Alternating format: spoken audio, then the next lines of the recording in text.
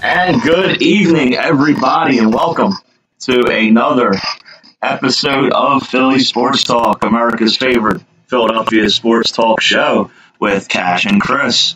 I'm Cash, and Chris is here. How you doing, Chris? I'm doing well. How's your week been? Uh, busy, busy, but uh, you know, not bad. Well, we, we had a um, all three teams won last night. First time since 2012 that that's happened in Philadelphia. Wow. Yeah, Flyers, Phillies, and Sixers. That's the first time the Flyers, Phillies, and Sixers won since 2012. Last time that the Eagles were involved and all the teams winning was all the way back in 2002.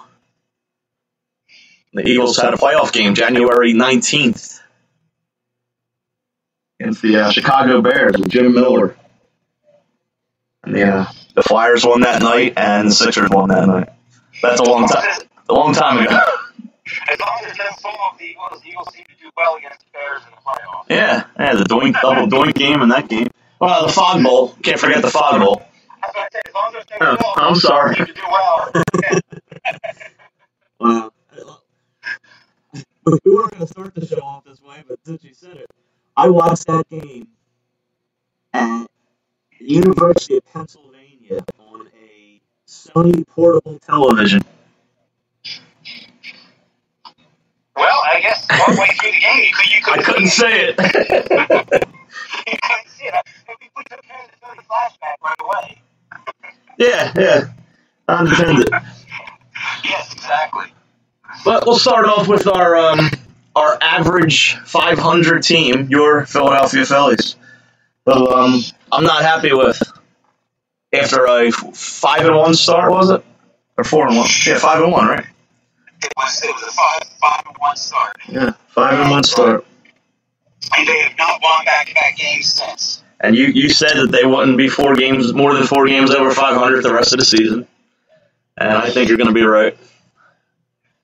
Yeah, I, I look at it from from the standpoint of, of what I'm seeing now and just how inconsistent they are. Now, of course, I'm, I'm hoping that uh, I'm not correct on that, but just with what they've got to put out there every day with the lineup and some struggles that guys who you need to rely on have, have, have, been having, and Bryce Harper now having an injury, and it just seems like the team, like like you said, it's it's probably a 500 team, give or take a game Yeah, I mean, they've actually gotten two good outings from Vince Velasquez the last two times out, which we didn't expect. So that's two wins. Or they they win the game in Colorado.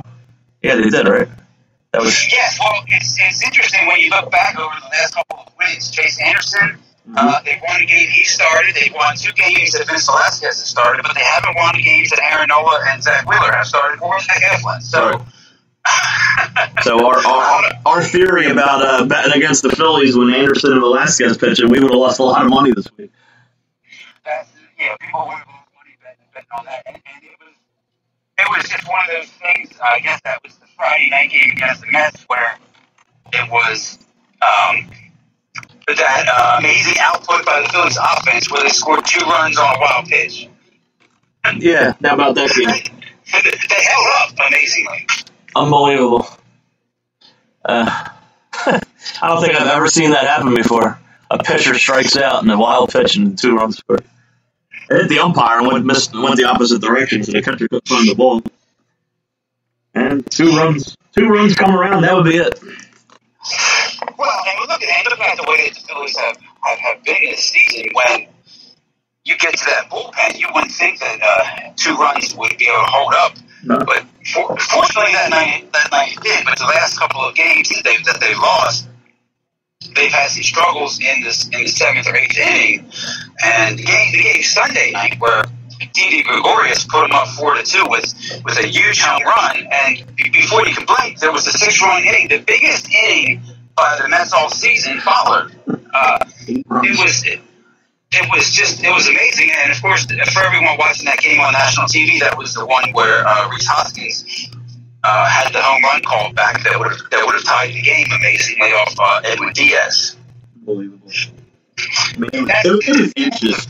And I watched it probably five times. I couldn't tell. I couldn't tell if it hit a seat or the or the um the top of the fence. I guess they could tell. It looked to me like it hit a seat the way it carried back. Well, the way I look at it, it was close enough.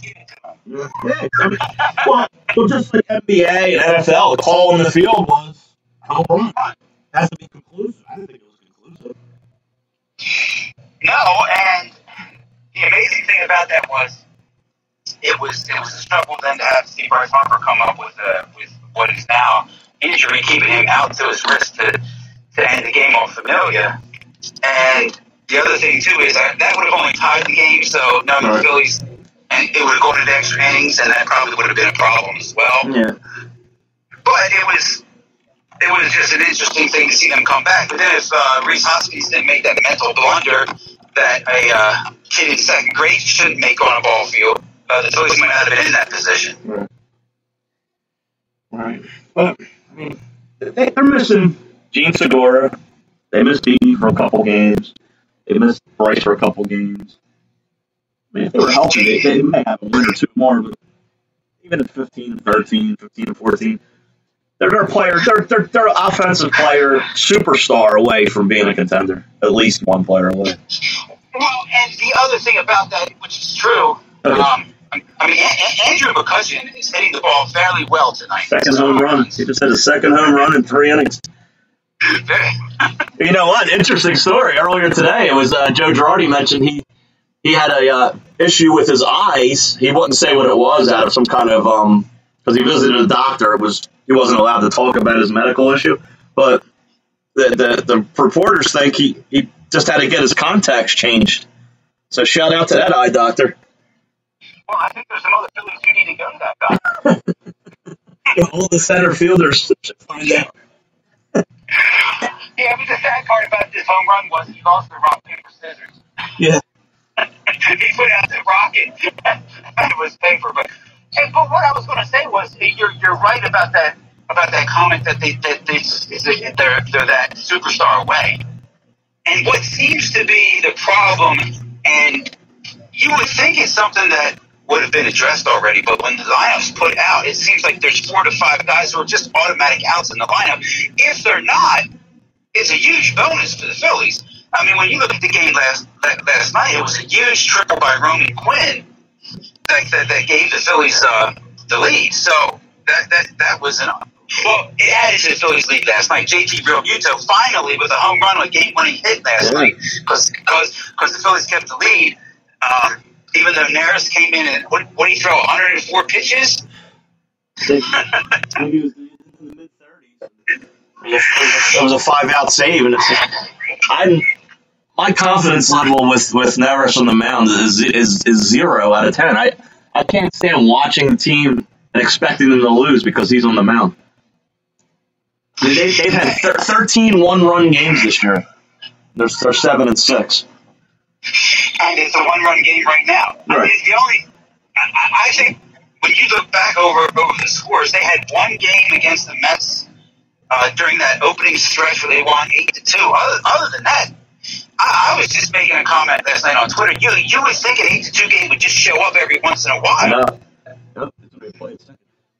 and he's out. Wow. Another another mistake by Rhys Hoskins. Yeah, he tried to make a single into a double. Start out second by probably by 40 feet. The, the second baseman waiting for him to, to arrive at the base. Yeah, but don't make any comments about that mistake on Twitter, or, or, or people think that you're a Philadelphia hater and tell you that you, sh- you should go and be a Nationals fan or something like that. Left, left fielder, I mean, he got he did, he did a great job getting to that ball, McKinney. I know the throw wasn't even good, but, that, that, but that's how late Hoskins was getting Yeah. there. But, but and, and you're right too. It's when when, we, when it seems like every week we come on, we are talking about Hector Neris, and the Phillies did try to address that situation with, with, with some other possible arms that, that could be closers. And the one thing I did want to bring up when talking about the Phillies is Jose Alvarado has no business being a Major League Baseball pitcher. No. As, I mean, he's, I mean, it's dangerous. I mean, we saw the situation last week in St. Louis where Harper and Didi got hit back to back, and Harper took the one to the face. And, and you had a lot of the Phillies, uh, the people who comment on the Phillies and the people talking about the games for the Phillies. I mean, that, that can't happen. A guy can't be that wild. Jose Alvarado is the same way. Yeah, he is. I, I, I was wrong about him. I thought it was going to be a great pickup because of his, Oh, I, I because of his velocity. Now you know why Tampa Bay let him go. that's that's exactly why. I mean, that's why he was available, and you, you, you saw that. I guess I guess he's suspended now, but for, for that little dust up with the Mets over, the- over the weekend. But the last game he was in, he he, he couldn't throw a strike, Yeah. and now the sad part is it, you have to leave him in to pitch to three batters, and he's he's he's throwing pitches that are going to the backstop, and it's like I don't know what we can do. Nothing. And the, the other player they picked up was Archie Bradley. I'm sorry. Yeah. Yeah, I mean, how, how many times, how many years have the Phillies picked up relievers that just never, never pitched for them? It's, it's, it's the same thing over Yeah. David Robertson. It's the same thing over and over again, year after year. Well, and the one question I wanted to ask, and I, I, I guess we can look this up. I was just thinking about this earlier too. What happened to Seranthony Dominguez? How is it these other guys on other teams go out and have have the Tommy John surgery or whatever the surgery is they need, and they come back, and guys for the Phillies go to have these surgeries, and you never see them again. I don't know. I, don't, I, I had heard he was he was making his way back, and then they, I haven't heard anything lately. Uh, No, that, that's that's been uh, two two seasons ago, early on in, in 2019, I believe. all right, so here they on February nineteenth they they placed him on a sixty day injured list. So that would take you to, to April nineteenth, which just passed a couple of weeks ago. See, he, he waited, so he didn't have the, the Tommy John surgery until July of last year. Remember, I know, I, I, I know he waited, and it was it was one of those things to where it's like, how, how, how does that happen? It's either I, I know what they were trying to do. They were trying to hopefully get us through it, but it's either, either you need it or you don't. yeah, there's just like no news on him at all. There's no new articles or anything. Yeah, and the only other thing that I that I, that I want to talk about, and, and for everybody who's listening and puts down or uh, downloads our podcast, I don't know. Um, hopefully, uh, we've stated this at the beginning, but you are listening to Philly Sports Talk with Cash and Chris right here on IE Sports Radio, which is your direct feed for all that is sports. And the other thing I wanted to mention on, on, the Phillies, and it, it's, it's a baseball issue, and Cash, I'll get your opinion on this.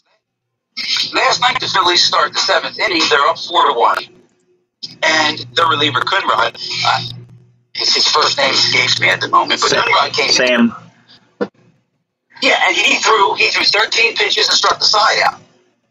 Um, it, it's, I don't understand why then he isn't starting the eighth inning. that's that's the old, you know, the nowadays it's the the, the roles that they give these guys. You know, he's going to pitch the seventh, and Brogdon's going to pitch the eighth, and Neris is going to pitch the ninth. That's that's that's the way the managers do it. And, and, and, and the thing is, if, if the guys following him have had a positive track record of doing it, I, I guess that's I guess that's the way to go. But when but when a guy look that dominant out there, mm-hmm. I, to, to, to me, hey, he can pitch the eighth and the ninth.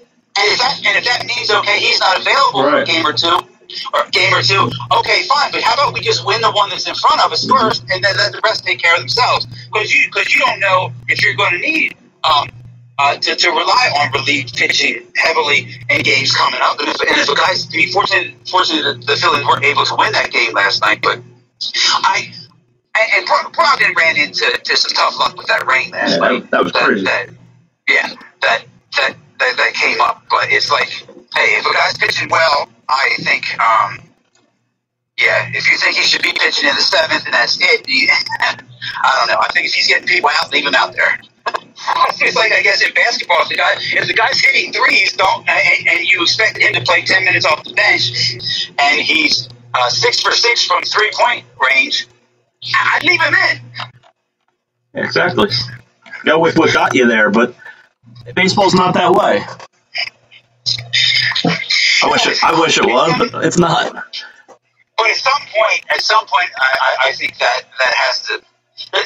A manager has to make that decision, but I haven't been uh, too too impressed with Gerard so so far this season. But I guess a lot of it's the hand he's been dealt as well. Yeah, I'm hearing that a lot. A lot of people aren't really impressed by him. Uh, so you look at the NL East real quick. You got Washington's in first place at 12 and 12. So it kind of reminds me of the NL, the NL um, not the NL, the NFC East with the Eagles.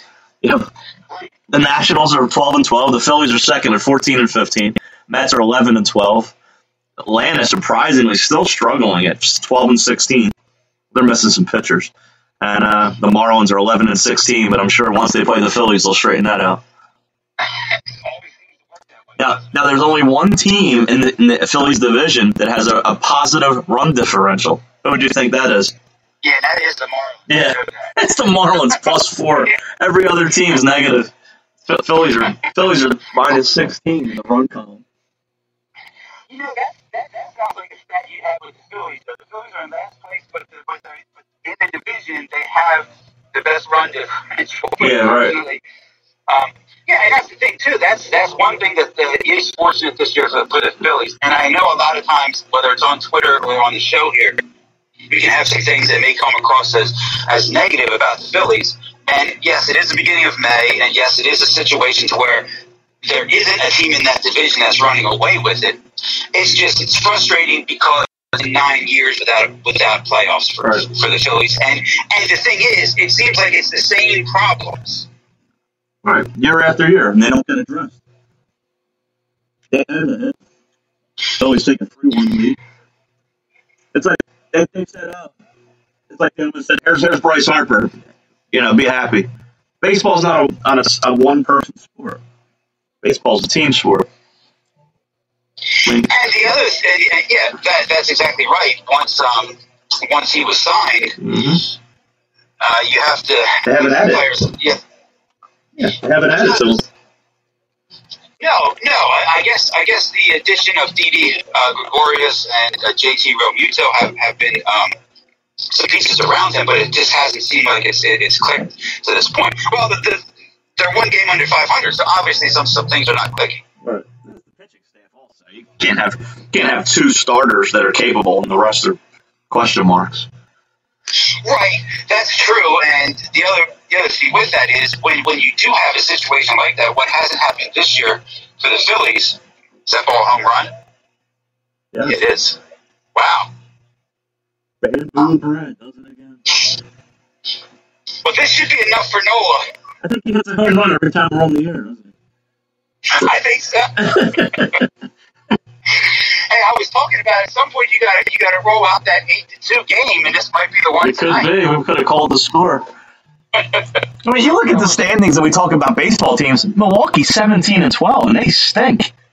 They're, they're, they do nothing for me, Milwaukee. What do they? Who do they have? Well, and you look at you look at it too. I, I don't know. I haven't checked it recently, but I looked at the scores earlier. It was like the Giants were winning ten to nothing in the second inning, mm-hmm. and that, that when you look at the, the, San Francisco Giants, do you think World Series? But then again, nah. you look at but the Dodgers have been struggling now after the hot start they got off to. The Giants scored ten runs in the first inning today. And I think the Dodgers lost today. I think the Cubs beat them. Dodgers are well, playing now. Was it unless it was a doubleheader? Was it a doubleheader? Yeah, I think they were playing too. Yeah, they, did. They, they lost game one, seven to one. And, our, and our and our favorite thing, a seven inning doubleheader. I can't stand double headers, seven innings. They have to change that back. Yeah, uh, that's league. Yeah, yeah. They got Trevor Bauer going in the second game. The Dodgers. They're seventeen to thirteen. So no, there's not one team I think in all of baseball that's really running away with anything. It's it's it's been. Um, I think it's the record for most strikeouts by hitters. So at this point in the season, so nobody nobody's hitting the ball. It's not just the Phillies. Yeah, they've been saying that the offense is down, and, and there's been a few. Um, I don't know how serious the talks were of moving the mound back or doing some things like that. Or low, lowering the mound too. Yeah, I don't think anything needs to be done. Just let to get him fine that way. Well, one thing they did do was they, they, they said they went with a softer baseball. So that's gonna make that's gonna make the ball not go as far. I don't know. It doesn't affect strikeouts, obviously, but it's going to affect home. You know, balls that would have been home runs will be just flyouts now. Well, it, well, it wasn't. It wasn't working in the Brewers' favor tonight so far. So what? That's three home runs tonight. yeah, they were crushed. Yeah. Well, the, the second McCutchen, I didn't see the first McCutchen one, but I saw the second one. That was just cleared the fence. Yeah, I didn't see the first one either. So, so. all right, that'll wrap up our Phillies coverage. Yeah, for everyone watching the game tonight, hopefully it's going to be one where the, where the Phillies win win a laugher tonight, and uh, it's, it's it's not an issue to where uh, with it being six to one, you look up at the bullpen's in and it's six five, and it's like who's going to close? So yeah, we covered the Phillies, and what uh, what team's next? Is it the Sixers? Mm, let's, yeah, we could do the Sixers. Yeah, I mean if you want if you want to cover the Eagles too, that's fine. Um, yeah, we'll get to the Eagles later. It's just, I'm definitely it's more excited for the Sixers. We we're getting there now. This is the this is the time of year where you know you start to get get itchy. You want the playoffs to get here, you're like getting for these games. It's let's get these games over with. I'm you know getting excited for these these playoffs. Um, well, and, and, and the other thing too is the, the game. Yeah, exactly. I, I know. We're, we're looking to the playoffs. They, they played in San Antonio, a team that uh, really um, doesn't have a lot of uh, NBA players on the team currently. With um, the, the way that that, that team uh, is formulated, a team that the Sixers blew out earlier in the season in Philadelphia, and they had to go to overtime and win on a game-winning tip by Ben Simmons, which is like, uh, you expected them to be able to blow out that team, and then last night they uh, lost a twenty-point lead in the fourth fourth quarter. It was it was it was down to four at one point, but they ended up winning the game in Chicago as well. So, well, what they did, what, they, what did they do in both of those games? They won. The bench. No, they yeah, won. They won. They won, won those games the last the last yep. four, three, four years with Brett Brown. That's that's exactly what, what would have happened. There there was there were situations where they where those games were games that uh, the Sixers would have lost. Now, hopefully, games like that are going to be games that are won in the playoffs as well. Now, of course, it's not going to be against the Bulls and the Spurs or teams teams of that caliber at some point, but games where where they have leads and it looks like that they're then struggling to hold that lead. Hopefully, that's something where they, they can overcome it in the playoffs this year. Well, San Antonio is a playoff team right now. Yes, yeah, they, I guess they're right there with, with, with Golden State, correct? At, at the, yeah, they're, the, uh, they're, the they're in the 10 spot, which is surprisingly a playoff spot now. Yeah, they're a game or two under 500, I think. Yeah. So I, I was uh, reading up on this this play-in tournament and how they're going to do it. It's going to. Let me see if I got it right. The seven and eight are going to play each other. The winner of that game is in. Okay. So right now, okay. right now it's Boston and Charlotte. So Boston and Charlotte will play. The winner of that game's in the playoffs. They get the seven seed. So then the loser of that game will play the winner of the 9-10 game, which is Indiana and Washington. And then they'll play each other. There, there's no, from what I'm reading, there's no two out of three this year. Okay, so that was my understanding that, that if uh, if one of the I, I guess my understanding was if the game between the nine and the ten, if the ten won, they'd have to win two games out of three. It doesn't say. One. But, it doesn't say that. I'm on NBA.com. I mean, it, it, doesn't say two out of three. Okay. I mean, I, I thought it was too, but because last year all they did was nine ten. The set the the, the seven didn't have to play, if I remember. And that was eight nine. I'm sorry, there, there was no ten. The set, top seven were in. It was only that one game I think between like Portland and uh, Houston.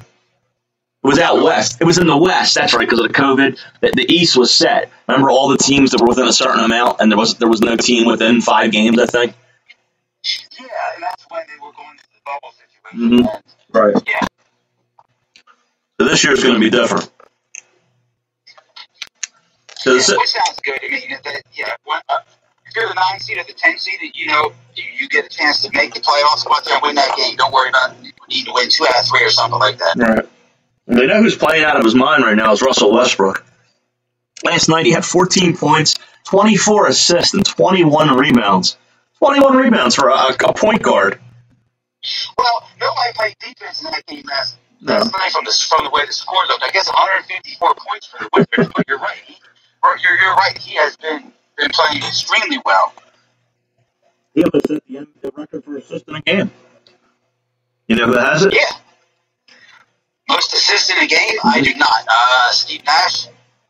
I, I'm 99% sure it's Scott Skiles Okay. with 27. I took a guess. hey, hey, I guess the Hall of Famer, so. Yeah. I'm, I'm gonna, I'm gonna, I'm gonna, I'm gonna have the staff in the back look it up, but I'm pretty sure I'm right. Unless it's been broken and I was sleeping. Let's see. I think I would have heard it. That, that, was a record from a long time ago. It wasn't 20. I have the player right, but it wasn't 27. It was 30. 30 assists for Scott Skiles. Now he's a man. Uh, now he's a uh, head coach. That was Yeah, a lot of point guards, a lot of point guards seem to become head coaches. yeah. That was 1990 that happened. 31 years ago. Wow. Wow. How about that? Things things you learn here on Philly Sports Talk. Yeah, well, when you mentioned that about um, when I said about a Hall of Famer there, I, I did want to uh, backtrack a second here to the Phillies because this was on on some of the Twitter last night. Just let me ask you this real quick. Do you think Scott Rolen is a Hall of Famer? For, my first instinct is to say yes. Yeah, me too. Okay, good. Me too. Let's Yeah, a lot of, uh, and, and they were showing some. Uh, I I guess it was Leslie Gudel on one of her tweets last night. Put um, a link to a YouTube with some highlights of him at third base, and I remember him being good, but I didn't remember him making those plays. But uh, yeah, Scott Rolen was, was was a guy who came through Philadelphia, wasn't much liked by the fans, but was an outstanding yeah. player who just who I guess yeah I think he should be a Hall of Fame. He's definitely borderline. I might have his stats up. He, he- he's probably about 200 hits short. I mean, he- he's he had 2,077 hits. Wow. Yeah, 517 doubles, 316 home runs. See, it's, it's his last one, two, three, four years that hurt him. He only had, he played for Cincinnati those years. He only played 40 games, 133, 65, and 92. Okay. And he only hit 323, uh, 36 home runs in the four years combined. Uh, he was actually an all star two of those seasons. I guess that's just the, the fans voting them in. Yeah, that, that based on that name recognition. Yeah. That, that can happen. career career average 281 on base percentage 364 he had 118 stolen bases he was an all-star one seven times he's, he's about as borderline as they come Yeah, I agree with that. never won a, never won a world did he win a world series with st louis? I let me see. I do not think he did. because that, that would definitely there we go. Yes he did. 2006 st louis Okay. beat, beat st louis beat detroit. Result win. He played in the world series twice. Lost to boston in 2004 and won it in 2006 Oh, oh so he's a world series champion 20, 2100 you know what though every time i come up with a player like this I, now, i can um, compare him to harold baines who's in and he has better numbers than harold baines so maybe one year I mean, he's been retired since 2012 yeah, he's got it. I, I, I think it's it's it's, it's overdue. I, I, think he'll get in. I don't know um, if it's going to be next year or two, but yeah, I think he'll get in. Now, what what team hat does he wear? Probably St. Louis because he didn't like being in Philadelphia. No, no, he didn't. He actually played. He, he played for he played for four teams. You know the other two? Yeah, he played for the Cardinals, the Phillies, the uh, Blue Jays, and the Reds. Bingo. Yep. Yeah, he was he was very good for the Blue Jays. Blue Jays. He played in Toronto how many years? Two. One. It wasn't many. Two. It wasn't many. Yeah, two.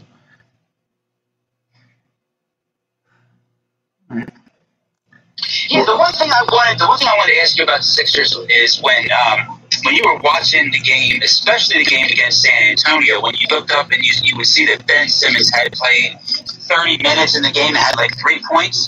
30, 32 minutes, three points is what I tweeted. Yeah, that can't happen in a playoff game. But, Yeah. but it, it was 30. It, it was a lazy 32 minutes. He, he just would dribble up and, and hand the ball to Danny Green and run into the corners. Like he didn't want to play. It wasn't asserting himself at all. I mean, that, that was a team he could have taken the ball to the basket against with ease. They weren't out there playing defense. They were No. they were a bunch of undersized guys who just were, were shooting threes. Uh, Keldon Johnson. he, he did hit the game winning uh. Yeah, he took the ball. If he doesn't do that, it's a, it's the worst game he's ever played. Yeah, it is. and, and I was well, I was looking at it and thinking about this today when when you look at going to the playoffs. I mean, you would think on any given night you're you're going to get thirty to thirty five from it. Right. Tobias will probably give you 15 to 20. So there you can, there you have 50, 55 points. Right. When you look then at Curry, 10 to 12. Yep. So we're up to maybe 65, 67. Yep. Danny Green will give you another 10, 10. to 12. Right. So that can get you to 80 points. hmm Then you have the toss up of what you can get off the bench. If Ben's only going to give you 10, that gets you to 90. You're going to need another 20 off the bench. Right. Un- Unless, unless you're really locking down the team defensively. Well, I know where eight of eight to ten of those points are going to come from, but from a guy who's played outstanding this year, and I'm surprised. And he looks like he's playing like he's 25. Is Dwight Howard? Dwight Howard. He's played great for the Sixers this year. He has. And the thing is, um, my he will get his rebounds, and you're right, he will get some points here and there. Um, the only concern I have um, with him is, is at the foul line. But if he's getting to the foul line, that should be a net positive for the Sixers. Sure. And then you're gonna have then you're gonna have Shake Milton. If he can get you eight to ten, you're you're at 100, 108. Because I know what you're doing. We're trying to outscore Brooklyn here, right? Yeah, exactly.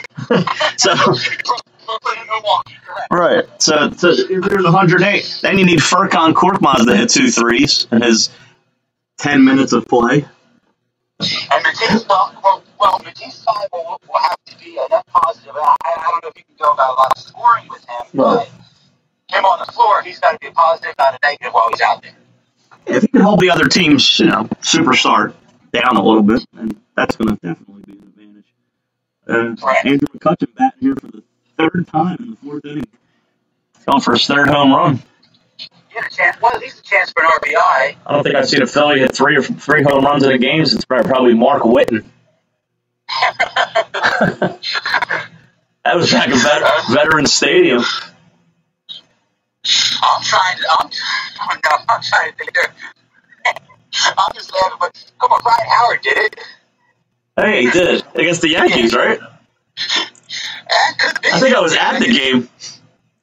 I it against a couple teams, but, but did Mark Whiten, Hard, what, what was it, Hard hitting Mark Whiten? Yeah. Played for the Cardinals, the Reds. Who was the who was the pitcher for the Phillies that had like ten RBIs to one game? Robert Person. Robert Person, yeah. I struck out. Yeah. Tough. I was saying uh, when I was at the game uh, a couple weeks ago, I haven't seen I haven't seen a cycle for the Phillies in a long, long time. Jefferies, the last I. I was there. I was at that game also. That that was a, a Saturday night game against the Dodgers, and And- and Hideo Nomo started. exactly. And no, no, what else? What else happened that game? Yeah, if you remember, something something happened with the stadium that game. The, the power went out. We, we, we were sitting in the dark. we were probably, I think we were the six or seven hundred level on the third base side. The power went. It was completely dark. All that was on was like the auxiliary lights, and um, you had to wait for the lights to come back on. Well, what happened?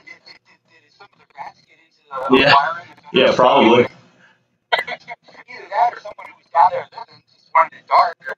I know. That that's that's a, that's a story for another day too. I like to read that book. I heard a guy either is writing or wrote a book about living in the vet. I might have I might have to buy that. Yeah, he just moved in. well, where was he staying? In the bathroom? What? No, nobody did. Nobody did a check in the stadium before they left. Uh, you would guess he goes shower at the clubhouse or something like that. I guess I guess there'd be plenty of food left over for him. Yeah, I I, I gotta read this story.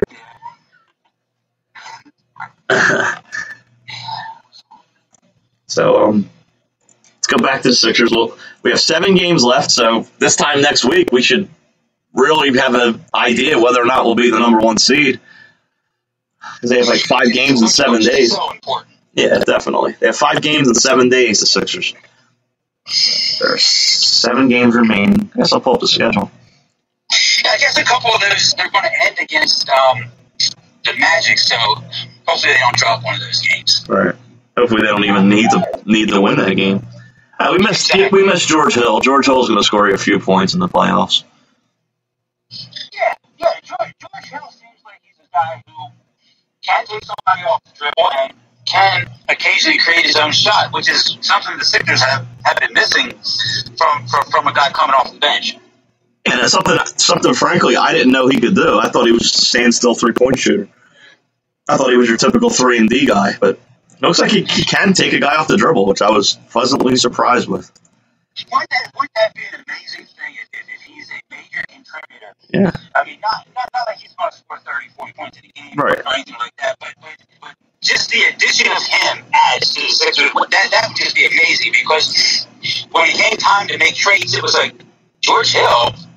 I It was like, well, really? But if that would just work out perfectly if he was someone who came in and that was a piece that was missing. Right. So, real quick, let's run down the last seven games. We're in Houston tomorrow night. Gotta be a win.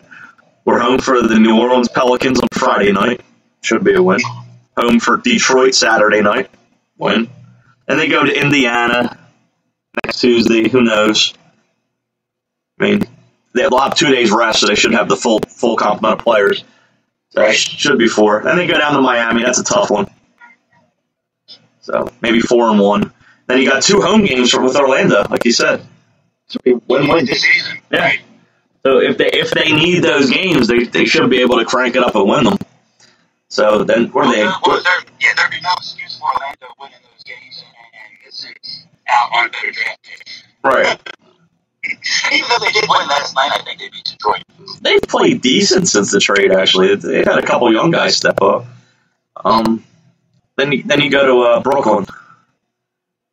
Let's look at their their uh, schedule for the rest of the way.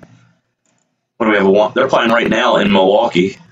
They're losing by five at halftime. They haven't gotten James Harden back. surprised. It says no, they haven't, and um, I guess uh, the only thing that I've seen about that about that is everything comes up to well, it's kind of baseball, it's kind of day to day. So all right. It's, it's, it's, it's not like well, he's going to miss another uh, two games because he has a strained knee or something. It's just there's not really much that they're saying. But you're right, he hasn't been playing. So here's their schedule. Not not easy. They're in Milwaukee tonight. Then they're in Dallas Thursday night. In Denver, who's playing great Saturday night. Then in Chicago. There are a lot of away games. That's, that's Tuesday. And then next Wednesday, they're home for San Antonio, home for the Bulls, home for the Cleveland Cavaliers. So they should win their last three games as well. But hopefully the Sixers have it in hand by then, which they easily could because these next three games, I could see Brooklyn dropping two easily. Yeah, I could too, and that that would be it would be nice if, if, if that could happen for the Sixers. And yeah, we since we started this show, that's one thing we've been trying to point out. They need to have a home court, and just out they have home court and it wouldn't work out. Yeah, it only takes one loss to shift the series back to the other team. Uh, the Sixers haven't been lights out at home this year. They they've dropped a few here and there. They haven't been completely dominant. But what are they? Twenty eight and four with their their starting starting five. So it is twenty eight and four, 22 and four. Yeah, I think I think you're right. I think there is only four losses in that. Yeah. Yeah, and with, with with their starting five, so hopefully that's something that, that's positive and can carry over. Definitely, it's going to be exciting. It's going to be very very exciting. Yeah, it is. It is, and it's one of those things to where, as Philadelphia fans, um, any game they lose, we're going to say, okay, well, they're they're done. They're out of the playoffs. Um, they're going to get uh, swept the next uh, few games in the series that's over. And, and, and any any game they win, it's like, oh, well, this is the best team in the East. I thought you were going to say the same thing I was thinking. Any game they lose is going to be Ben Simmons' fault. It's, it's always going to be Ben Simmons' fault. Yep. I, uh, I- I- unless unless Ben Simmons puts in puts in twenty. Well, if they if they don't if they do anything short of making the finals, it's going to be trade Ben Simmons. That's going to be the big talk over the winter. I mean, over, the, Correct. over the summer. I'm sorry. Yeah. yeah. I, like, yeah, because you you wouldn't think if Ben Simmons is uh, scoring twenty points and uh, playing some uh, good lockdown defense and averaging almost uh, double digits in, in assists per game. Oh, you would definitely think the Sixers are, are absolutely going to win the East. Um, if, if, if he's doing that the team falls short, wow. Yep. Well, that's what time it is. It's eight forty six. It's eight forty two, and we haven't taken a break yet. So let's take a break. We'll do a couple commercials here, and we'll be back with Philly Sports Talk with Cassie and Chris here on IE Sports Radio, your direct feed for all its sports.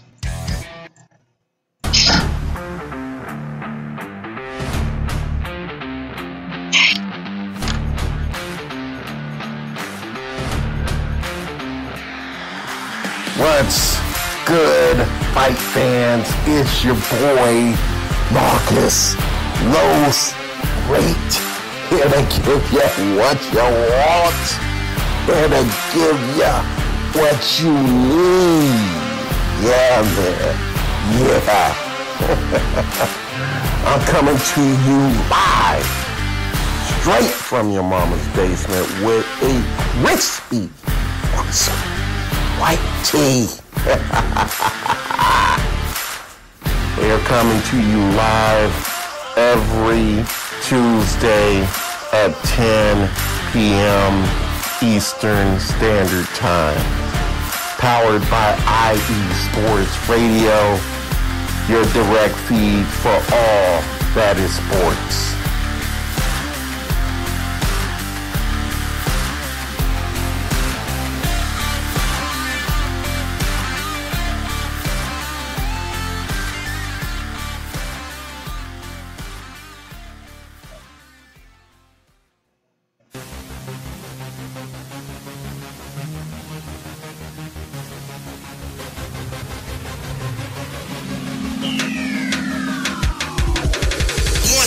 Everybody? This is Taryn Rodriguez.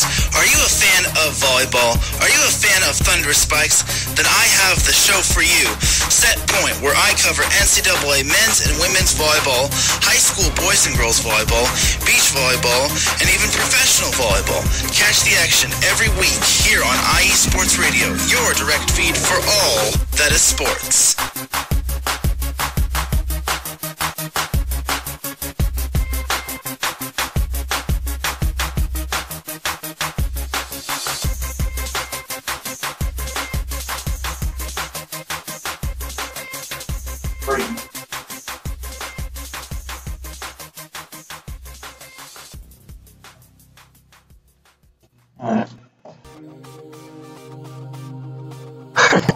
She wrote it up. Oops.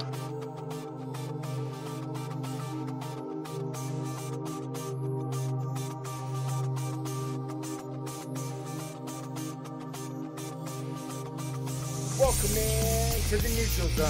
I'm your host, Robert Kavanaugh, and you're listening to IE Sports Radio. If you like big nasty hits, if you like slap shots straight to the neck, if you like it when the gloves hit the ice and the big boys get down, And this is your show on IE Sports Radio.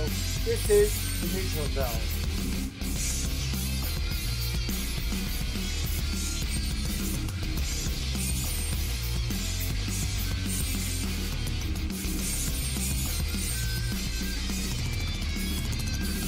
May our shots on goal always be true and straight to the net. If they are not, may they be followed up, redirected, or change collected. Let's go on IE Sports Radio with me, your host, Robert Kavanaugh, and this is the Neutral Zone.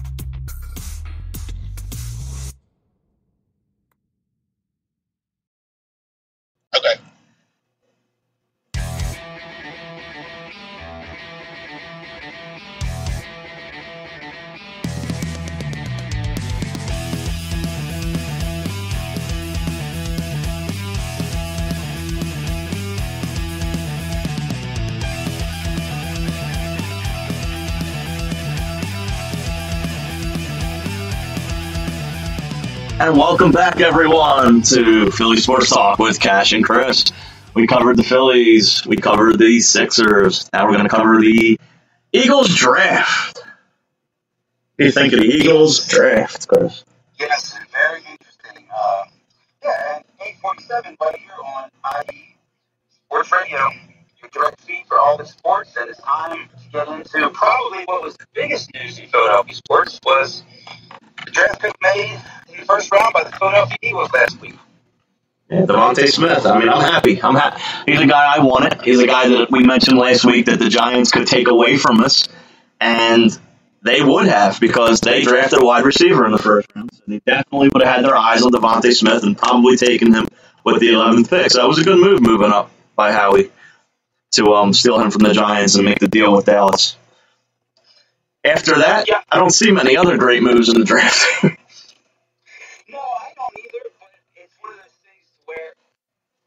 once you get to those picks, especially after the second round, I, I don't know. Can can these guys turn, turn into NFL players? Uh, possibly, but more than likely Uh, but they once again did the same old story with the second round. They picked a hurt player. They picked a player that we don't know he's going to be around and ready to go. When, when, when healthy, he's a great lineman, great center, dominant, 344 pounds. He's your center of the future, but will he be able to play? Yeah, that's the question. And how'd that work when they drafted Sidney Jones, who had a few injuries coming out of college? Exactly.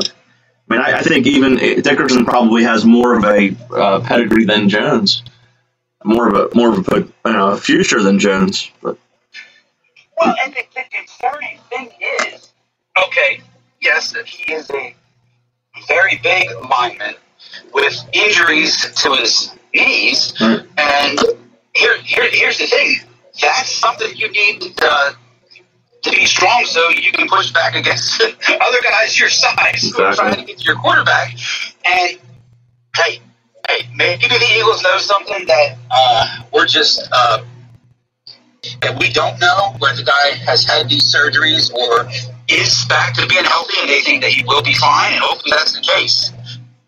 Hmm. I don't know. They they weren't able to meet with the players, so they're I think they're, they're guessing as well. They passed on, on on starters. They passed on guys that could step in and start. I mean, granted, they're not going to be a ten win team. They're not going to not going to make the playoffs next year. So they can they sit around and wait? Yes, they have Jason Kelce. So I guess it's a yet to be determined move right there. But once again, like you said, in the second round, if he, I don't know, I know. would he have been there? Would he, would he have been there later? You don't know. But if, but if someone else took the gamble, they they take the gamble and take something that take something different. Right. They could have taken a cornerback, which is a very important position. They, they could have had um, Sante Samuel Jr. and said they waited till the fourth round, and they picked the cornerback from Texas Tech, McPhearson, who might not be a starter. Yeah. In the fourth, in the fourth round, I mean, he's Well, he, the, word is potential. Right. Then again, a lot of times potential doesn't turn into anything. Right. In the third round, they took the. Yeah, the, the, the running back they took, once again, it's, it's, it's one of those things, well, we'll wait and see. Yeah, I mean, he's a good player, I and I saw him play at Memphis. He, he played at Temple a couple times. A high yard per carry guy. He could catch the ball. You know, he's like a Boston Scott, uh, probably a, a upgrade from a Boston Scott. Decent player. Um, what, what I was thinking today is though, you're going to have you know, your wide receiver position. You're going to have some decisions to make. You're going to have a DeVonta Smith, a Jalen Reagor, and you're going to are you going to bring back Fulgham? I, I think so, right? You're going to have to give him a shot. You still have Arcega Whiteside, and you still have a Greg Ward. I think somebody gets cut. Well, it's got to be Whiteside, I would think. Yeah, that's that's that's admitting they were wrong. Okay, so it's not going to be him then. you just you, you just you just made the strongest argument for him being on the team. right. Yeah, so then it would be Travis Fulgham who would probably have to go, um, who's probably a guy at least at least in reports that had come out, he was a guy who Howie Roseman was not a big fan of, but Doug Pederson was. I I think it's Greg Ward that would go. I think he's he's pretty much shown you his potential, he, the, the, the fullness of what he could do. Well, he did catch that touchdown in Green Bay. Yeah, first career. No, no, you're. Yeah, you're right. It, it could be, but it, doesn't it always seem like the Eagles have a great ward on their team? Yeah, it's like you know, he just just moved. The, the names change, but the players the same. Yeah. yeah the, the Eagles could use a big wide receiver. I think that would make a, hell of a difference. if They could get a big, uh, a um, like, a, like an Alshon Jeffery in his prime type of guy. Well, and when you look at when you look at with uh, DeVonta Smith now coming to the team, and the thinking behind it is with his speed and the idea of him being able to get some separation, and hopefully the line is going to be able to protect Jalen Hurts, and Hurts is going to turn into a quarterback who can throw the ball downfield some. The defense is going to have to try and, and cover DeVonta Smith, and that may allow some of these other guys to um, be open more than they uh, have been recently. Hopefully, that turns into either Travis Fulgham uh, being open more, and especially at Jalen Reagor. But here's what I like about Smith. Smith is, I like I said before the show, we watched. I watched a lot of him at Alabama. He's not a deep threat receiver. He's a over the middle, ten to fifteen yard and, and run after the catch receiver, which is good. Which is good because they're not going to have the time for him to get deep. So it's going to really help Jalen Hurts that he's going to have a, a, player like that that can run short patterns and get open and call a separation so you know so quickly. But Well, if you Yeah. but if you had, if you had Jalen Reagor being uh, said that he was, Mhm. he could be the, he could be the deep threat. Right. But I don't think that's. No, no. Actually, you're right. Say that they can line up on the same side of the field, and Smith could get draw attention from two, and you may have single coverage on Reagor deep. So they might they might have found something here. Right, and what that also does is that that's going to leave the tight end uh, open as well. Yeah, yeah. So that, that, that's great, great draft pick. But the, the, So, so the- we're, the- the, go we're ahead. looking at the five games next year. maybe the the only the, the only but is a lot of times he came limping off the field in, in Alabama. Yes. he's young. He can he can shake those injuries. But hopefully the NFL is a, it's a different beast. You know, at 166 pounds, he's gonna have to put 10 pounds on. I think. Well, and, here, and here's the other issue too that, that, that I was thinking I know I know this is right across your mind too. The coaching staff for the Eagles is not like a Bill Belichick regime or something. we have no, there's, there, there's no idea who, who these people are, and if they can actually be people who could who could coach and make someone and improve. I think if they're listening to the show, they, they were just like, "Wow, good idea." Exactly. Oh, wait a minute, we, we could put Reagor and uh, Smith on the same side. Yeah. kind of like the Chiefs do with um Tyreek Hill and their other and Robinson and uh, Sammy Watkins. Yeah, because that's, that, that, that's the thing. They, they had DeVonta Smith screwed up before he, before he takes his first snap. Oh. For the first snap, uh, or, or, or lines up for, for his first play. Was, was it was it me or did he not look overly excited when he was picked? He didn't. He didn't. He didn't look that happy walking towards the towards the stage.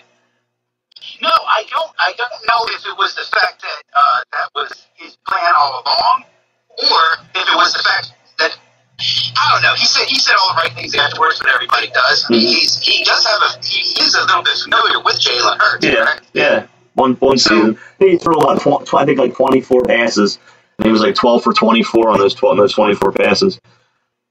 So Well, it could just be one of those things too with um, being drafted in Philadelphia. The way the fan base is, he's like, oh, I'm I'm I'm, I'm going to get. Uh, I'm going to have a fire put under me. I'm going to get criticized no matter what I do. either that, that, or he might have been uh, unhappy that he dropped so far, Possibly. and his, his teammate got drafted ahead of him.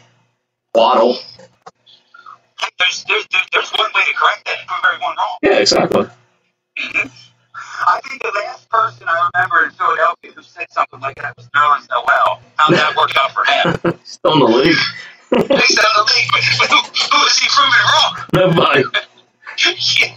I think what didn't he pick the number that he wore because that was how many people passed on him in the draft? Yeah. And he went and he was gonna yeah, he was gonna do something to prove them wrong, correct? Yeah. Yeah, and actually, I guess there was talk last season of bringing him uh, um, before the season started, of possibly bringing him back as, as a role player on the Sixers, Yeah. but that didn't that, that didn't pan out. He's, he said he's going to the Knicks, and the Knicks are playing good ball still. Yes, they are. They, have probably the coach of the year, I guess, with with uh, Thibodeau. I, he's done Oh, without oh, Without a doubt, right? That's that's a lock. It's got to be. Yeah, it has to be. Uh, yeah, what was their big acquisition in the offseason? Julius Randle. Yeah, everybody was like, "What?" I've been, I've been saying the Sixers should sign Julius Randle since he's since he's been in the league. I wanted him. I said he'd be the perfect player for this team. There was no reason they could have got him. They, they could have not signed Tobias Harris and gotten him. They could have. You're right. They'd be tough. They'd be tough to beat if they had Julius Randle. Yeah, and it's one of those things that, that that's worked out for the Knicks. Of course, being a Sixers fan, Mhm. um, we, we never want to see the Knicks do well, but you do have to say it's better for the NBA when the Knicks are doing well. Yeah. I mean, not that I think that the Sixers would lose to them. It's just they, they've been playing. No, They'll probably, they might win a first round series. yeah, They'll be the four seed probably, which is a which is a feat in itself. Yeah. I agree. Well, the Milwaukee, 66 points in the first half tonight. Brooklyn gave up 66 points. They just play no defense. Yeah, they um their their philosophy is try to outscore you, and usually games where where the Sixers are trying to outscore people, they they uh, usually don't end too well in the Sixers' favor. But hopefully, that's that, that's something where if they get into that series against Brooklyn, um, and if Brooklyn wants to play that game, the Sixers can do it. I kind of like the Sixers in the series because of the defense. I think we'll, we'll be we'll be able to make enough stops on defense that our our, our will score enough points. That Durant guy uh, just gives me a little bit of a worry. Yeah, I, I, it's just not Harden, uh, believe it or not. And I guess it's one of those things too because we haven't seen Harden play in the finals. Uh, obviously, he, he can put up numbers, but it, it's just Durant that um, yeah. is, is the guy who I think could could, could be a problem. And Har- Harden's going to take the touches away from Durant, which will probably work in our favor. Think about it. There'll be less shots for him. Yeah, and then Kyrie Irving's there. Yeah, I know. So, uh, yeah, you're right. It's it's one it's one of those things too where um, if Brooklyn's coming out trying to outscore somebody, and, and the Sixers can find something on defense. I mean, I know, I know. Before we we, we saw Doc Rivers throw zone at some people, and you know, hey, if, if it's something that, that that can shut them down for even um, uh, part of a quarter, Exactly. that, All that could turn yeah, could, could be all it takes, correct? Nine o'clock on the East Coast. Um, good question. And, and, and our Phillies are winning six to one in Yeah. the top of the sixth. Nobody out, the man on first base. And um, to those out there who uh, follow me on Twitter, I have had uh, a couple things to say about Aaron Nola, and I don't think I've made it any secret that I'm not a huge fan of Aaron Nola. Um, only from the standpoint that in big games he seemed to shy away throughout his career, and he's been labeled an ace, and it just seems like um, he struggles too much um, to be considered an ace. And hey, after he came out tonight, bases loaded, uh, 29 pitches in the first inning, gave up a run, and that's all he's given up. I just gotta say, look, that's what an ace needs to do. 90, 90 pitches. Yeah, 90 pitches in the top of the sixth with nobody out. Um, that's that's looking like they're going to get into the bullpen, Yeah, and no nobody is safe. The Phillies bullpen. not at all. Well, we have we have a dare here. Shane on the chat board says if the Eagles go twelve and five next year, he'll carry his dog fifty miles to Wildwood. Well, uh, yeah. If it happens, I'll bring a TV crew in. Yeah. 12 and 5. Well, there's going to have to be a lot of teams with a lot of injuries. No injuries to the Eagles. A lot of things are going to have to. wow. Yeah, they're not going twelve and five. No. Would I like to see them go 12 and 5? Absolutely. Sure. Probably be a first round exit anyway. Now, the team that probably will go 12 and 5 next year is Indianapolis Colts. Yeah, yeah. There you go. And of course, Carson Wentz isn't going to have to carry the team. He's just going to have to carry hand the ball to Jonathan Taylor and the other two running backs, and he probably throw the ball twenty times a game and win. Exactly, and the thing is, he does have the capability of, of doing that making that one big play a game that can win a game, a game for a team when, when he's surrounded with the, with the uh, proper weapons, because we've seen him do that. And I think it's one of those situations that it's not one of those things to where when players leave Philadelphia, it's like I'm not one who says once they leave, I want to see them fail. But I, I, I don't care whether they fail or succeed. I just I just think the situation that he's in and the player that we saw that he could be, he, he's going to thrive in Indianapolis. If, if, Yeah. if he doesn't, I will be shocked. Yeah, and, and he's in a, he's in a spot in Indianapolis where we don't really hate them, and they're in the other conference, and it's not really going to hurt us for them to win. So we can root for him, and I don't mind seeing him win either because I don't think he was given the like you said the weapons here. He wasn't given the team. He wasn't given the coaching either. Doug Pederson wasn't a great coach. I know we won Super Bowl, but that was more. I would think that was more of the players and the the, the defense and the uh, coaching staff around him, the Frank Reich and the uh, Jim Johnson. They they ran the team, and uh, Nick and Nick Foles. Yeah, Um, you can't you can't take it away No. from them what, what, what they accomplished and the fact that uh, that's the only Super Bowl that, that, that the Eagles ever won. It's just one of those things to where as a fan, and but we well we've seen this with a lot of other teams too, where, where when they won the Super Bowl, it, it looked like it was going to be a situation where they were going to be back at least in contention to win another one, and that just didn't happen. Now they, they got to the playoffs and they had to go back to Nick Foles again because Carson Wentz got hurt the following year and there was a drop ball uh, in, in, in New Orleans that, that, that could have led to a game winning touchdown. But then it just it, it, it was just it was just amazing how they just uh, they said when, when, when they were driving in New Orleans, I thought they were going back to the Super Bowl. so did I. and, and, what, and, and who was it? Was it Alshon Jeffery who missed the ball? Yeah, he dropped the ball. Yeah. Yeah, well, right through hands. yeah. Yeah, because I remember the cover of Sports Illustrated that came out. It had Nick Foles on the cover, and it said again. Yeah. and then, and then what happened in New Orleans is what is is um That's- know winning that season. That's what Sports Illustrated does to people. When I saw when I saw Gonzaga on the cover of Sports Illustrated, I said they're not winning the championship, and we, we, we said Baylor all along. We were right. They dominated them. No, no, we're still wait, we're still waiting for our prizes here on the on the station. Uh, uh, uh, tournament for, the radio station here, and the prizes that we picked were uh, IE Sports Radio hoodies, and they're, they're, they're still being manufactured. They're on their way. La- La- Larry's knitting them out in California. yeah, yeah, hopefully he's, hopefully he's doing that instead of um, just like a screen press that's going to come out the wash. Just kidding, Larry.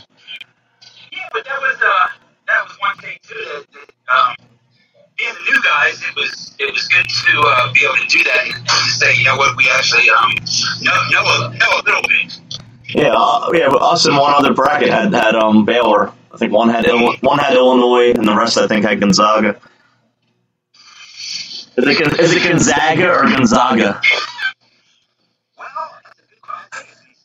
Gonzaga. But they but don't they but then they call them the Zags. They don't call them the Zogs. Oh, you might be right. All right, nine nine oh six. Yeah, you know what? Yeah, yeah, yeah. just mentioning that once you go to college basketball next year, it's not the same thing because Gonzaga doesn't play anymore. Right. So I was thinking, well, look, they're, they're the best team in the country. again. Look how great they are. They're going to win it. And it's like, yeah, beating St. Mary's, wow. And they got the uh, the number one recruit out of high school. Yes, they did. Looks like a um a, a Shawn Bradley that can dribble. I'm trying His name his name is uh, Chet Chet Holmgren. He's, he's not a Mormon, is he? Uh, where's he from? No, I just know that Shawn Bradley because uh, I think a lot, a lot of that hurt Shawn Bradley's career was the fact he took two years off of basketball. Yeah, yeah. Now, this this kid's from Minnesota. I actually actually saw like a couple highlights of him on Sports Center, like dribbling coast to coast, and he, he had a couple big dunks that you know he made like top plays. He's like he's, he's not seven foot seven. He's seven. He's seven foot, one hundred and ninety pounds. Seven foot one ninety. That might be the skinniest player you'll ever see.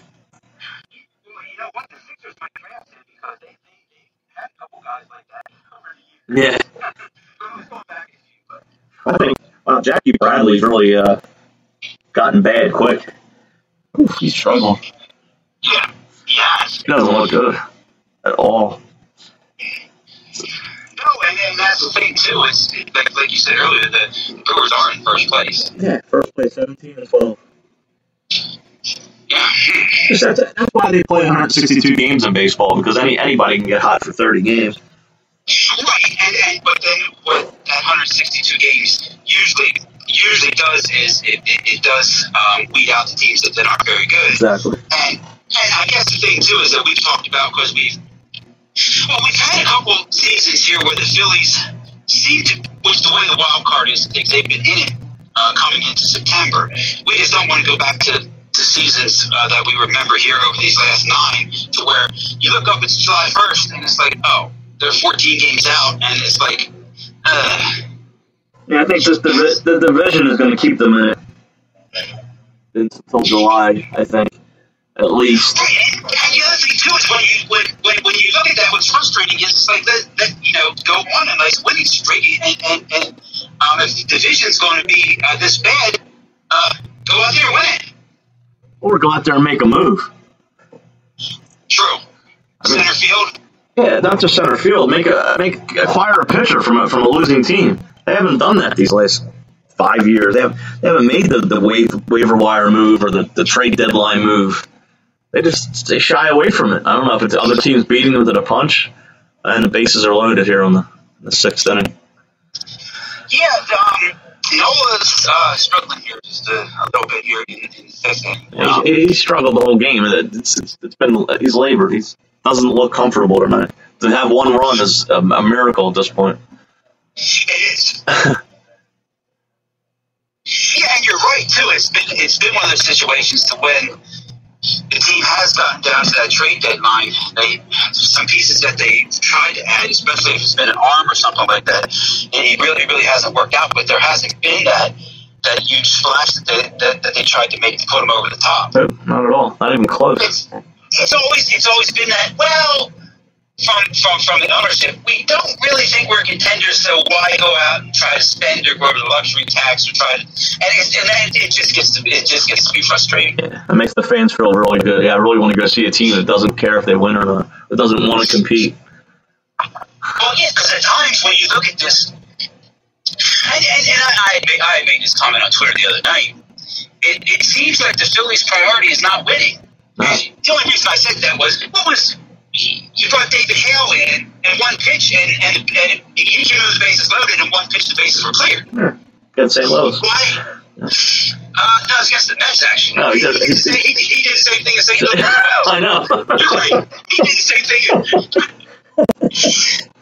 and it's like, okay, well, he's still out there. All right.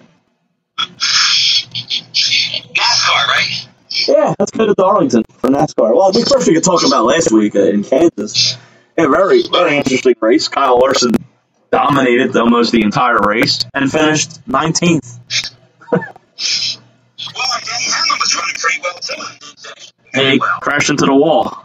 so, so, but uh, Kyle Busch was uh, undefeated on his birthday. So I heard that. I said, uh, I guess Kyle Busch is going to win, and he found a way to win. He, uh, he raced the night before, too, if I'm correct. Yeah, he ran the truck race on Saturday night and dominated that race as well. That that's been an advantage. That's something that- to look for when you're filling out your fantasy um, lineups um, out there. If if a guy runs the night before, that's basically his practice session. Like him and Ross Chastain both ran on Saturday night. I believe they both finished in the top ten on Sunday, if I'm not mistaken. Yeah, they did. Chastain did get up to did finish. Okay. I think I think so. Yes. Yeah. Yeah, and like you said last last week with some of the wrecks, the way that that, that, that, that race turned out. Uh, yeah, it was just surprising uh, because a lot of guys who you thought were running well just ran into some trouble, which what can happen in a race. And then Darlington this week, um, another track that should be a positive for Denny Hamlin, but I'm not going to pick him. Oh. Oh, you're gonna pick. You're gonna pick. Let me hear. Joey Logano, Okay. Yeah. That's that's that, 22. that's definitely the line of thinking I'm at. It- It's, going to be a veteran. Darlington's a tough track. exactly. It's it's, it's going to be someone who's been around. I, I, I I'm close to saying Kurt Busch, but I, I don't think at this I'm close, I don't think at this point in his career he's he's, he's going to win anymore. Yeah, I'm thinking either Brad or um, Martin Truex. I have a feel, I have a, I have a Martin I have a Martin Truex feeling. Okay. Yeah. So So, the one guy in that mix that we really haven't mentioned is Harvick. Harvick's not. Uh, he did finish second this week, but that was late in the race. He's not running well. no, And pop up. It's going to drop. yeah, that's what that's what I thought this week too. I'm like, look, look at this. He he hasn't run well, and this race is going to play into his hands, and he's going to end up winning that Man, yeah, almost. almost. Yeah, you know, I, I, you know me, I, I follow the odds while I'm watching the race. Larson, when I first noticed that he was coming up through the field, was plus 300. By time there was, I th- before the last, next to last caution, he was minus 1667. Wow. You had to lay sixteen hundred and sixty-seven dollars to win hundred dollars on Larson, and he Wow. and he finished nineteenth. I asked her for you. Yeah, yeah. My, my buddy actually put two hundred on him when he was plus three hundred. He cashed out for five ninety-five. That's a pretty good, pretty good payday because the most he could win was seven hundred. Yeah, true. That, that was that was a nice payday. I think it's MGM. Bet MGM gives you nice cash outs on NASCAR, but Draft, DraftKings doesn't. They would only give you like two hundred and thirty dollars. They don't. They don't really up the the pay the cash outs because there's forty cars. Yeah, uh, Cass, you, you've never been to a NASCAR race. I have. I have. Oh, okay. I've been to. Two, I've, I've been to two actually. Okay. Yeah, I've been to Dover twice. Oh, cool. Yeah, I went. To, I went to the um the, the, the June race. It was way, way too hot, and September race was way too cold.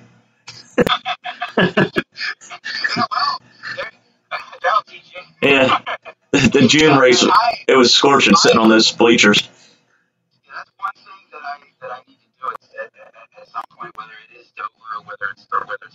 But you've never been to a race? I'm not. Oh, I would have. I would have thought the other way around.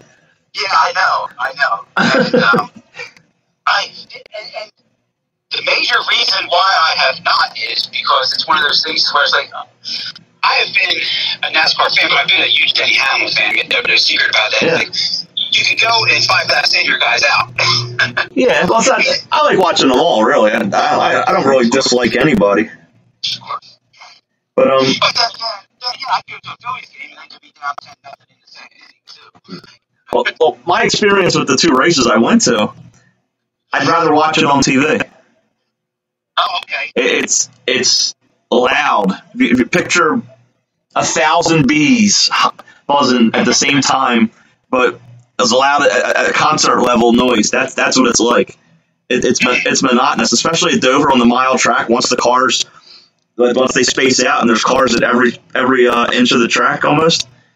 It, it does. It's just we were waiting for a caution, so we stopped the, the noise.